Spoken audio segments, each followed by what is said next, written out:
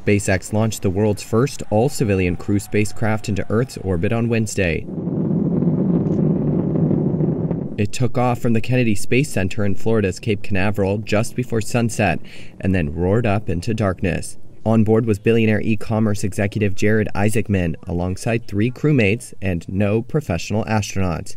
They were strapped into the rocket's capsule, dubbed Resilience, wearing helmeted black and white flight suits, and a thumbs up signaled they'd enter orbit almost 10 minutes after blastoff. Cheers erupted in SpaceX's Mission Control Center. The mission aims for a maximum orbit of nearly 400 miles above Earth. That's higher than both the International Space Station and Hubble Space Telescope. It's also the furthest any human has flown since NASA's 1972 Apollo moon mission. The flight is expected to last about three days. Mission officials say it will then splash down in the Atlantic.